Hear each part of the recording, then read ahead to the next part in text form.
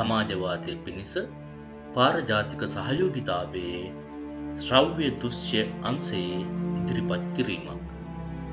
සකල දේශවාසී නිර්ධන පන්තියේ විමුක්තිය උදෙසා මක් සහ එංගල්ස් විසින් රචිත කොමියුනිස් පක්ෂයේ ප්‍රකාශනය හඬපටයක් ලෙසට ධනපතියෝ සහ නිර්ධනයෝ යන පළවන කොටසේ දෙවන සබදිය මෙතැන් සිට.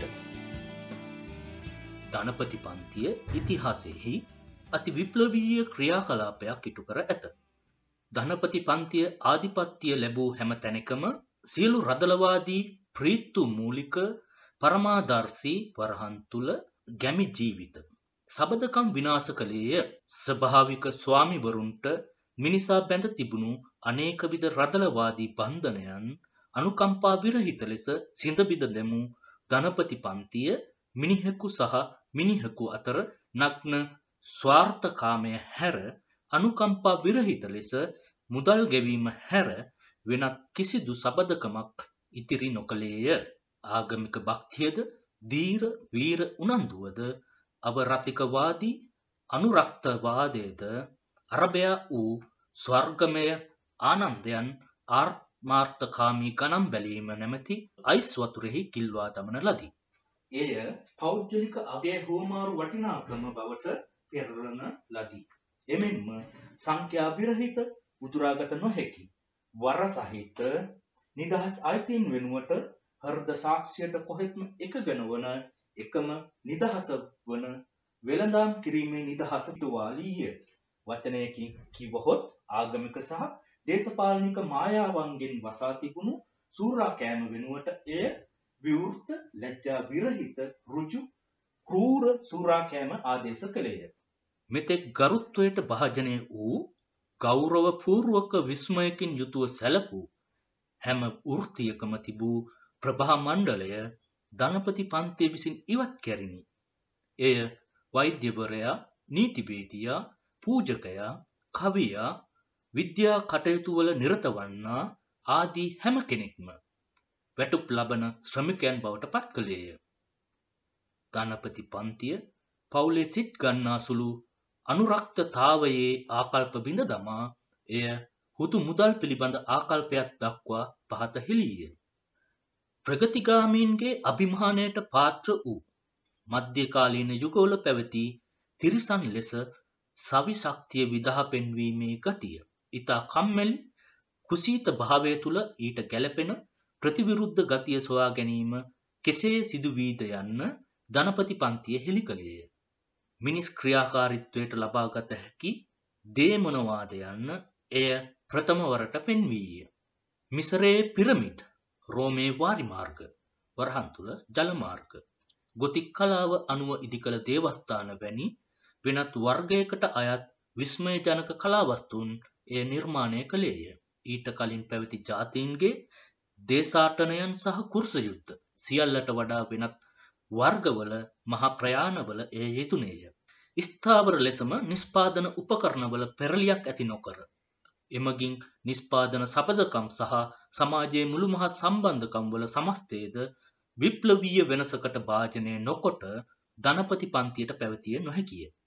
අනිත් අතින් ඊට කලින් ඇති වූ සියලු කාර්මික පන්තින්ගේ පැවැත්මට අවශ්‍ය වූ පළවෙනි කොන්දේසිය වූයේ වෙනස් නොවන අන්දමකින් පැරණි නිස්පාදන ක්‍රම පවත්වාගෙන යාමය. නිස්පාදනයෙහි ඇතිවන ස්ථාවර විප්ලවීය වෙනස්වීම් සියලු සමාජීය සබඳතාවයන් වල ඇතිවන නිරන්තර කැළඹීම් සදාකාලික අවිනිශ්චිතතාවය සහ ගාමකත්වය විසින් ධනවාදී යුගය අන් සියලු යුගවලට වඩා වෙනස් වේ. සිය පෞරාණික වූත් පූජනීය වූත් ප්‍රාග් විනිශ්චයන් සහ මත සහිත පාසානි භූත යකඩ මල බැඳුණු සියලු සබඳතාවයන් විනාශ වී යන අතර අලුතින් ඇතිවන සියලු සබඳතාවයන් අස්තිකරණයට භාජනය වීමටත් පෙර ඒවා යල් පැන යයි. ඝන වූ හැම දෙයක්ම උණු වී වාතය බවට පෙරලේ. සුද්ධ වූ හැම දෙයක්ම කෙලසෙන්නේය. අවසානයේදී මිනිසාට තම ජීවන තත්ත්වයන් සහ තම වර්ගයා සමග ඇති අන්‍යෝන්‍ය සබඳතාවයන් දෙස සංසුන් සිතින් බැලීමට අවශ්‍යතාවයක් ඇතිවේ. සිය නිස්පාදන භාණ්ඩවලට නියත ලෙසම විශාල වෙමින් පවතින වෙළඳ පොළක් සොයා ගැනීමේ අවශ්‍යතාවය විසින් මුළු මහත් ලෝක ගෝලය වටා ධනපති පන්තියට දුවන්නට සිදුවේ. එය හැම තැනටම රිංගන්නටද හැම තැනකම පදිංචි වීමටද හැම තැනකම සම්බන්ධකම් ඇති කර ගැනීමටද සිදුවේ.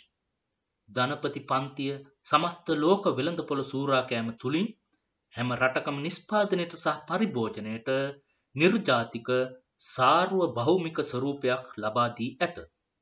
එය ප්‍රතිගාමීන් මහත්සේ කනස්සල්ලට පත් කරමින් කර්මාන්තයේ ජාතික පදනම එහි පා යටින් ඉවතට ඇද දමා ඇත. පුරාණ චිරාගත කර්මාන්ත විනාශ කර දමන ලදී. නැතිනම් දිනපතා ඒවා විනාශ කර දමනු ලැබේ. සියලු සભ્ય ජාතීන් ඉදිරිහි ඇති ජීවිතයත් මරණයත් අතර ප්‍රශ්න විසඳාලීමක් වශයෙන් අභිනවයෙන් ආරම්භ කළ යුතු නව කර්මාන්ත මගින් තවදුරටත් දේශීය අමුද්‍රව්‍ය වලින් නොව ලෝකයේ ඉත ඈත ප්‍රදේශ වලින් ගෙනනු ලබන අමුද්‍රව්‍ය වලින් වැඩ කරන කර්මාන්ත මගින් එක් රටක් තුල පමණක් නොව ලෝකගෝලයේ හැම දිසාවකම පරිභෝජනයට ගන්නා භාණ්ඩ නිපදවන කර්මාන්ත මගින් පැරණි කර්මාන්ත පලවා හරිනු ලැබේ. රටක ජාතික නිස්පාදනය මගින් සෑහීමකට පත් කරනු ලබන පැරණි අවශ්‍යතාවයන් වෙනුවට ඈත සහ විවිධ දේශගුණික රටවලට අයත් නිස්පාදන මගින් පමණක් සෑහීමට පත් කළ හැකි නව අවශ්‍යතාවයන් පැන නගී. පැරණි ප්‍රාදේශීය සහ ජාතික හුදකලාතාවය සහ ස්වම්පෝසිතතාවය වෙනුවට සමස්ත ලෝක අන්තර් ආවේදනයක්ද එක් ජාතියක් තවත් ජාතියක් මත රඳා පවතින සමස්ත ලෝක අන්‍යෝන්‍ය පරායක්තතාවයක්ද ඇතිවේ. මෙය ද්‍රව්‍යමය නිස්පාදන වලට මෙන්ම ආධ්‍යාත්මික නිර්මාණවලට එකසේ බලපායි. එක ජාතියකගේ ආධ්‍යාත්මික නිර්මාණයේ ඵල සියලු ජාතීන්ගේ පොදු දායාදය බවට පත්වේ. ජාතික ඒක පාර්සිකත්වය සහ සීමා සහිත පටු බුද්ධිය වඩ වඩාත් නොකළ හැකි දෙයක් බවට පත්වේ. ජාතික හා පලාත්බද සාහිත්‍යයන්ගේ බහු සංඛ්‍යාවක් විසින් ජගත් සාහිත්‍යයක් බිහිවෙයි. සියලු නිස්පාදන උපකරණවල සීග්‍ර දියුණුව මගින්ද ඉමහත් ලෙස පහසුවන ප්‍රවාහන සහ පණිවිඩ මාර්ග මගින්ද ධනපති පන්තිය අති මිලේච්ඡ ජාතීන් ඇතුළු සියලු ජාතීන් සભ્યත්වයේ වෙතට ඇදගනී. ධනපති භාණ්ඩවල ලාභ මිල මහා කාලතුවක්කු වලට සමානය. මේ පාවිච්චි කරමින් ධනපති පන්තිය සියලු චීන ප්‍රාකාර බිඳ දමයි. මිලේච්ඡයන් තුල විදේශිකයන් කෙරෙහි ඇතිවන මුරණ්ඩු ද්වේෂ සහගත වෛරය මෙල්ල කරලයි. වඳ වී යාමේ භීතිය ඉදිරියේ ඉන් මිදෙනු පිණිස ධනවාදී නිෂ්පාදන ක්‍රමය පිළිගන්නා ලෙස එය සියලු ජාතීන්ට බල කර සිටී. ඔවුන්ට ඊනියා ශිෂ්ටත්වය එනම් ධනපතිවාදය පිළිගන්නා ලෙස එය බල කර සිටී. වචනයකින් පවසතොත් ධනපති පන්තිය තම ප්‍රතිමූර්තිය සහ තමාට සමාන ලෝකයක් මවාලයි. ධනපති පන්තිය ගම නගරේ ආධිපත්‍යයට යට කර දමයි. එය අතිවිශාල නගර ඉදිකර ඇත. ගැමි ජනගහනය සමග සංසන්ධනය කරන විට නගරබද ජනගහනය සංඛ්‍යාව අතින් වැඩි කළේය. එනයින් ජනගහනයෙන් සෑහෙන කොටසක් ගම්බද ජීවිතයේ මුග්ධ භාවයෙන් මුදවා ගත්තේය. එය ගම නගරයට පරාධීන කළාක් මෙන්ම මෙලෙච්ච සහ අර්ධ මෙලෙච්ච රටවල් සભ્ય රටවලට පරාධීන කළේය. ගොවීන්ගෙන් සමන්විත ජාතීන් ධනපතීන්ගෙන් සමන්විත ජාතීන්ටද නැගෙනහිර බටහිරටද පරාධීන කළේය. ධනපති පන්තිය ජනගහනයත් නිස්පාදන මාධ්‍යයන් සහ දේපොලත් විසුරුම වඩ වඩාත් අහෝසි කර දැමීමෙහි යෙදී සිටි. එම කොටස නැවතත්. ධනපති පන්තිය ජනගහනයත් නිස්පාදන මාධ්‍යන් සහ දේපොලත් විසුරුම වඩ වඩාත් අහෝසි කර දැමීමෙහි යෙදී සිටි. එය ජනගහනය පිණ්ඩිත කොට නිස්පාදන මාධ්‍යයන් මධ්‍යගත කොට ඇත. දේපොළ අල්ප සංඛ්‍යාවක් අත සංකේන්ද්‍රණය කොට ඇත. මෙයින් අවශ්‍යයෙන්ම ඇති වූ විපාකය වූයේ දේශපාලනමය මධ්‍යගත වීමකි. ස්වාධීන නමුතු ලිහිල් ලෙස එකිනෙකට සම්බන්ධව තිබූ විභේදකාරී උවමනාවන් විවිධ නීති පද්ධති ආණ්ඩු සහ අයබදු ක්‍රම තිබුණු පෙදෙස් එකම ආණ්ඩුවක් එකම නීති සංග්‍රහයක් එකම ජාතික පන්ති ඕමනාවක් එකම තීරුබදු ක්‍රමයක් සහිත දේශ සීමාවක් සහිත ඒකීය ජාතියක් ලෙස ඒකරාසී විය. ධනපති පන්තිය සිය වසරකටත් වඩා අඩු සිය පාලන කාලය තුලදී ඉන් පෙර පැවති සියලු පරම්පරාවන් විසින් ඉදිකරන ලද නිෂ්පාදන බලවේගයන්ගේ සමස්තයට වඩා අති විශාල වූද අති දැවන්ත වූද නිෂ්පාදන බලවේගයක් බිහි කළේය. සොබා දහම මෙල්ල කිරීම යන්ත්‍ර නිෂ්පාදනය කර්මාන්තයට හා කෘෂිකර්මයට රසායනය යෙදවීම ධූම නෞකා සේවය ආරම්භ කිරීම දුම්රිය සේවය විදුලි පණිවිඩ ක්‍රමය වගාව සඳහා මහත් ද්වීප හෙළි කිරීම ගංගා වාරිමාර්ගකරණයට යට කිරීම බහු ජනගහනයන් පොළොවෙන් මවා පෑම වැනිතේ ආදි මේ මහා නිෂ්පාදන බලවේගයන් සමාජීය ශ්‍රමයේ උකුලෙහි සැතපුණු බවට පෙර නිමිත්තක් තිබුණේ මින් පෙරකිනං සිය වසරකටද ධනපති පන්තියේ ඉදිකිරීමට පදනම වූ නිෂ්පාදන මාධ්‍යන් සහ හුවමාරු ක්‍රම නිර්මාණය කරන ලද්දේ රදල සමාජ ක්‍රමය තුළදී බැව් එනයින් දැන් අපි දුටිමු.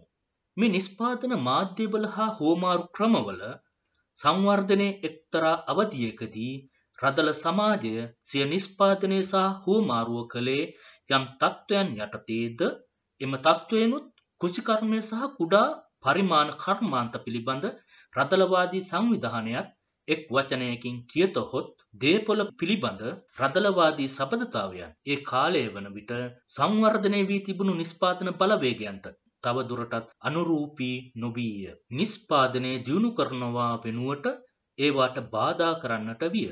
ඒවා විලංගු බවට පත්විය. ඒවා පුපුරවා දැමීම අවශ්‍ය විය. එලෙසම ඒවා පුපුරවා දමන ලදී.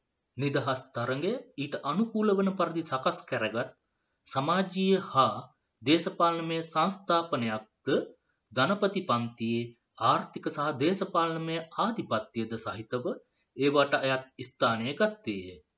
අප ඉදිරියේ එබඳු ව්‍යාපාරයක් සම්පූර්ණ වෙමින් පවතී. නිෂ්පාදන සහ හුවමාරු සබඳතාවයන් සහිත දේපොළ අයිතිය පිළිබඳ සබඳතාවයන් සහිත සමකාලීන ධනවාදී සමාජය මෙතරම් බල සම්පන්න නිෂ්පාදන මාධ්‍යන් සහ හුවමාරු ක්‍රම මවා තිබෙන මෙම සමාජය තමා විසින් සිය විච්ඡාකාරී බලයෙන් ආරාධනා කොට ඇති පාතාල ලෝකයේ භූත බලවේගයක් තවදුරටත් මෙල්ල කළ නොහැකි විච්ඡාකාරයෙකුගේ තත්ත්වයට වැටී සිටී. ඉකුත් දශකයන් කීපයක් තිස්සේම කර්මාන්තය සහ වාණිජයේ ඉතිහාසයේ නම් අන් කිසිවක් නොව සමකාලීන නිෂ්පාදන තත්ත්වයන්ට විරුද්ධව ධනපති පන්තියේ සහ ආධිපත්‍යයේ පැවැත්මට අවශ්‍ය තත්ත්වයන් වන දේපල සබඳතාවයන්ට විරුද්ධව සමකාලීන නිෂ්පාදන බලවේගයන් ගෙන යන කැරැල්ලේ ඉතිහාසයයි. කලින් කල යළි යළිත් ආපසු පැමිණෙන එලෙස ආපසු පැමිණෙන හැම වාරයකදීම වඩ වඩා තර්ජනාත්මක ලෙස මුළු මහත් ධනපති සමාජයේ පැවැත්මට තර්ජනය කරන වාණිජ අර්බුද ගැන සඳහන් කිරීම ප්‍රමාණවත්ය. මෙම වාණිජ අර්බුදවලදී නිෂ්පාදනය කර තිබූ භාණ්ඩ වලින් සෑහෙන කොටසක් පමණක් නොව නිෂ්පාදන බලවේගයන්ගේද සෑහෙන කොටසක් පවා සෑම වාරයකදීම විනාශ කර දමනු ලැබේ. මෙම අර්බුදවලදී ඊට කලින් හැම වකවානුවකදීම අමන ක්‍රියාවක්සේ පෙනීයා හැකි සමාජීය වසංගතයක්. අද නිෂ්පාදනය නැමැති වසංගතය දසත්ත පැතිරයයි. හිටි හැටියේ සමාජයේ මිලෙච්ඡත්වය කරා ආපසු ඇද වැටුණු සැටියක් දැනේ. දුර්භික්ෂයක්. සමස්ත ලෝක විනාශකාරී යුද්ධයක් විසින් ජීවත්වීමේ මාධ්‍යන් සියල්ල කපා දැමූ කලකමෙන් සමාජයට දැනේ. කර්මාන්තය සහ වෙළඳාම විනාශ වූවක් සේ දැනේ. කුමක් නිසාද? ඌමනාවට වඩා වැඩි ශිෂ්ටත්වයක් සමාජයට ඇති නිසාය. අවශ්‍යතාවයට වඩා වැඩි ප්‍රමාණයක් ජීවන මාධ්‍යයන් තිබෙන නිසාය. ඌමනාවට වඩා වැඩි කර්මාන්තයක් සහ වාණිජයක් සමාජයේ සතු නිසාය. සමාජයට ඍසි පරිදි පාවිච්චි කළ හැකි නිෂ්පාදන බලවේගයන් ධනපති දේපල අයිතියේ සබඳතාවයන් වර්ධනය කිරීමට තවදුරටත් ඉඩ නොදෙයි. එහෙත් ඒ වෙනුවට නිෂ්පාදන බලවේග දේපල සබඳතාවයන්ට වඩා ඉමහත් ලෙස බලවත් වේ. ධනවාදී සබඳතාවයන් ඒවාගේ සංවර්ධනයට බාධා කරයි. මේ බාධා මැඩ නැගී සිටීමට නිෂ්පාදන බලවේග ඉදිරිපත් වූ විට ඒවා මුළු මහත් ධනවාදී සමාජයේම ව්‍යාකූලත්වයට ඇද දමයි. ධනවාදී දේපොළ අයිතියේ පැවැත්ම තර්ජනයට ලක් කරයි. ධනේශ්වර සමාජයේ සබඳතාවයන් විසින් නිපදවන ලද ධන සම්භාරය අඩංගු කර තැබීමට ප්‍රමාණවත් නොවන තරමින් එය පටු විය. ධනපති පන්තිය මේ අර්බුදයන්ගෙන් ගොඩ එන්නේ කෙසේද? එක් අතකින් බල කිරීම නිසා නිස්පාදන බලවේගයන්ගේ ඉමහත් ඔගයක් විනාශ කර දැමීමෙනි. අනිත් අතින් අලුත් වෙළඳ පොළවල් අල්ලා ගැනීමෙන් සහ පැරණි වෙළඳ පොළවල් එහෙම පිටින්ම සූරා කෑමෙනි. එය කරන්නේ කෙසේද? වඩාත් විස්තීර්ණ ඌද වඩාත් විනාශකාරී ඌද අර්බුදවලට මඟ හෙළිකිරීමෙන් සහ අර්බුද වළක්වාලන මාධ්‍යයන් අඩු කරලීමෙනි. රදල ක්‍රමය මුලින් උපුටා දැමීමට ධනපති පන්තිය පාවිච්චි කළ අවි දැන් ධනපති පන්තියට එරෙහිව එල්ලවීමට පටන්ගෙන ඇත. තමනට මරණය ළඟා කරන අවි ධනපති පන්තිය නිපද වූවා පමණක් නුව මෙම අවි තමන්ට විරුද්ධව එල්ල කරන මිනිසුන්ද එනම් සමකාලීන කංකරුවන් නිර්ධනී බිහි කළේය. ධනපති පන්තිය. එනම් ප්‍රාග්ධනය වැඩෙන්නේ යම් ප්‍රමාණයකට. එම ප්‍රමාණය සරිලනසේ සමානුපාතිකව නිර්ධන පන්තිය නූතන කංකරු පන්තිය වර්ධනය වේ. මෙම පන්තිය තමන්ට වැඩ සොයාගත හැකි තාක් කල් පමණක් පවතී. එයට වැඩ ලැබෙන්නේද එය සිය ශ්‍රමයෙන් ප්‍රාග්ධනය වැඩි කරන තාක් කල් පමණකි. තමන් එක එකා වශයෙන් වෙන් වෙන්ව. විකුණාගත යුතු මේ කංකරුවෝ වෙළඳාමට තබා ඇති අන් හැම භාණ්ඩයක් මෙන්ම වෙළඳ භාණ්ඩයක් වන්නාහ. මෙහි විපාකයක් වශයෙන් ඔවුහු තරගේ සියලු ජය පරාජයන්ටද සියලු උච්චාවචනයන්ටද ගොදුරු වෙති. යන්ත්‍ර සූත්‍ර විස්තීර්ණ ලෙස වැඩි වැඩියෙන් පාවිච්චි කිරීම නිසාත් ශ්‍රම විභජනය නිසාත් නිර්ධනයින්ගේ ශ්‍රමයෙහි පෞද්ගලික ස්වාධීන ස්වරූපය අතුරුදහන් විය. ඒ අනුව වැඩ කරන්නාට තිබූ වසීකරණත්වයද නැතිවිය. ඔහු යන්ත්‍රයේ සරල උපාංගයක් බවට පත්විය. ඔහුගෙන් ඉල්ලා සිටින්නේ ඊතා සරල වූද අතිශයින්ම ඒකතානමය වූද ඊතා ලෙහෙසියෙන් ලබාගත හැකි වූද ක්‍රියාකාරීත්වයක් පමණකි. කංකරුවෙකුගේ නිස්පාදන වියදම සම්පූර්ණයෙන්ම පාහේ. ඔහුගේ ජීවන සැපයුම් මාධ්‍යයන් සඳහාත් ඔහුගේ වර්ගය බෝ කිරීම සඳහා සීමා වේ. එහෙත් භාණ්ඩයක මිලත් එම නිසාම ශ්‍රමයේ මිලත් ඒ නිපදවීමට යන වියදමට සමාන වේ. එබැවින් වැඩක ඇති විකර්ශනයට සමානුපාතිකව වැටුප් අඩු වෙයි. එපමණක්ද නොවේ. යන්ත්‍ර සූත්‍ර පාවිච්චිය සහ ශ්‍රම විභජනය වැඩි වන ප්‍රමාණයට සමානුපාතිකව වැඩ කරන පැය ගන්න වැඩි කිරීමෙන් හෝ එක්තරා පැය ගන්න තුලදී වැය කරන ශ්‍රමය වැඩි කිරීමෙන් හෝ යන්ත්‍ර සූත්‍රවල වේගය වැඩි කිරීමෙන් ආදියෙන් හෝ ශ්‍රම ප්‍රමාණය වැඩි වේ. සමකාලීන කර්මාන්තය පීතෘ මූලික ශිල්පියාගේ කුඩා වැඩපොළ කාර්මික ධනපතියාගේ මහා කම්හල බවට පරිවර්තනය කළේය. කම්හලට එක් රැස් වූ කංකරුවන් සෙබළුන් ලෙස සංවිධානය කරන ලදී. කාර්මික සේවාවේ සාමාන්‍ය සෙබළුන් ලෙස ඔවුන් උසස් නිලධාරීන්ගේ සහ සාජන්ට්වරුන්ගේ අනදීම යටතේ ඉතා සම්පූර්ණ දූරාවලියකට යටත් කොට ඇත. ඔවුහු ධනපති පන්තිය සහ ධනපති ආණ්ඩුවේ වහලුන් පමණක් නොවෙත්. ඔවුහු දිනපතාමත් පැයක් පාසාමත් යන්ත්‍රයේත් පාලකයාගේ සහ අන් හැමටම වඩා පෞද්ගලික ධනවාදී නිස්පාදකයාගේත් වහලුම් බවට පත්වෙති. තම අවසාන හා එකම පරමාර්ථය ලාභය ලබා ගැනීම බව මෙම දුෂ්ට ඒකාධිපතිත්වය ප්‍රසිද්ධිය ප්‍රකාශ කරන තරමට එය වඩාත් නීච වෛර සහගත වඩාත් කූර දෙයක් බවට පත්වේ. කායික ශ්‍රමය සඳහා අවශ්‍ය වන නිපුණත්වය සහ කායික ශක්තිය අඩුවන තරමට වෙනත් වචනවලින් කියතොත් නූතන කර්මාන්තය සංවර්ධනය වන තරමට පුරුෂයින්ගේ ශ්‍රමයේ ස්ථානය ළමා සහ ස්ත්‍රීන් විසින් දරනු ලැබේ. කංකරු පන්තියට වයස් බේදයේ සහ ස්ත්‍රී පුරුෂ බේදයේ විශේෂ සමාජීය වටිනාකම තවදුරටත් බල නොපායි. ඔවුහු සියලු දෙනාම වයස හා ලිංග බේදය අනුව අඩු හෝ වැඩි වියදමින් පාවිච්චි කරනු ලබන ශ්‍රම උපකරණයක් පමණක් බවට පත්වෙති. කංකරුවා කර්මාන්ත හිමියා විසින් සූරාකෑම අවසන් වීම සහ ඔහුට වැටුප් ලැබෙනවත් සමගම ධනපති පන්තියේ අනෙකුත් කොටස් වන ගෙවල් හිමියාද කඩකාරයාද පොලිකාරයාද ආදීහු ඔහු මත කඩා පනිති. මධ්‍යම පන්තියේ පහළ තට්ටුවන කුඩා කර්මාන්ත හිමියෝද සුළු වෙළෙන්දෝද සුළු පොලිකරුවෝද හස්ත කර්මාන්ත කරුවෝ සහ ගොවියෝද යන මේ කොටස් නිර්ධන පන්තිය දක්වා පහත වැටති. අඩ වශයෙන් මෙසේ වීමට එක් හේතුවක් නම් විශාල කම්හලක් පටන් ගැනීමට තරම් ඔවුන්ගේ කුඩා ප්‍රාග්ධනය ප්‍රමාණවත් නොවීමය. එමෙන්ම ඔවුන් විශාල ධනපතින් සමග කරන තරගයේදී පරාජයට පත්වීමය. අනෙක් හේතුව නම් නවීනතම නිස්පාදන ක්‍රමවිධි ඔවුන්ගේ ශිල්පමය දක්ෂතාවය නෝටනාදයක් බවට පත් කරනු ලැබීමය. මේ ලෙස ජනගහනයේ සියලු පන්තින්ගෙන් නිර්ධන පන්තියට පුද්ගලයින් බඳවා ගනු ලැබේ. සංවර්ධනයේ විවිධ අවධි තුළින් නිර්ධන පන්තිය ගමන් කරයි. තම උපතත් සමගම නිර්ධන පන්තිය ධනපති පන්තියට විරුද්ධව අරගලය ආරම්භ කරයි. ආරම්භයේදී මෙම අරගලය පටන් ගන්නේ තනි තනි කංකරුවන් විසිනි.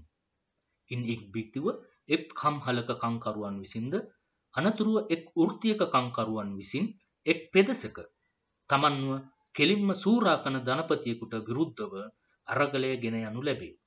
ඔවුහු සිය ප්‍රහාරය නිස්පාදනයේ ධනවාදී සබඳතාවයන්ට විරුද්ධව පමණක් නොව නිස්පාදන උපකරණවලට විරුද්ධවද එල්ල කරති.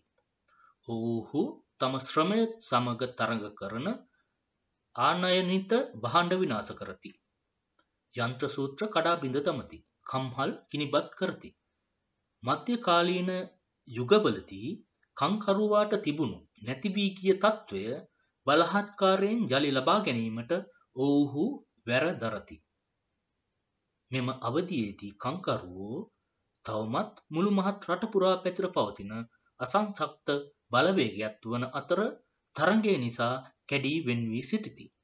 කංකරු බහු ජනතාවගේ ඒකරාශිවීම තවමත් ඔවුන්ගේ ස්වයන් සමගියේ ප්‍රතිඵලයක් නොවන අතර එය ධනපතියන්ගේ සමගියේ ඵලයක් පමණකි. ධනපති පන්තියට සිය දේශපාලනමය අරමුණු ඉටු කර ගැනීමට අවශ්‍ය නිසා එයට මුළු මහත් නිර්ධන පන්තියම ක්‍රියාවේ යෙදවීමට සිදු වී ඇත. එපමණක් නොව එයට තව කලකට එසේ කිරීමටද හැකියාවක් ඇත. මේ අවධියේදී නිර්ධනීන් සටන් කරන්නේ තම සතුරන්ට විරුද්ධව නොව සතුරන්ගේ සතුරන් වන නිරපේක්ෂ ආණ්ඩුවේ නටබුන් වලටත් ඉඩම් හිමියන්ටත් කාර්මික නොවන ධනපති පන්තියටත් සුළු ධනපති පන්තියටත් විරුද්ධවය. මේ අනුව මුළු මහත් ඓතිහාසික සංවර්ධන ව්‍යාපාරය ධනවාදී පන්තිය අත සංකේන්ද්‍රණය වේ. එවැනි තත්ත්වයන් යටතේ ලබන සෑම ජයග්‍රහණයක්ම ධනපති පන්තියේ ජයග්‍රහණයක් වන්නේය. මෙම හඬපටයේ තෙවන කොටස කර්මාන්ත සංවර්ධනයත් සමඟ නිර්ධන පන්තියේ සංඛ්‍යාත්මකෝ වැඩිවීම යන මාතෘකාව යටතේ ඉදිරියට සවන් දෙන්න.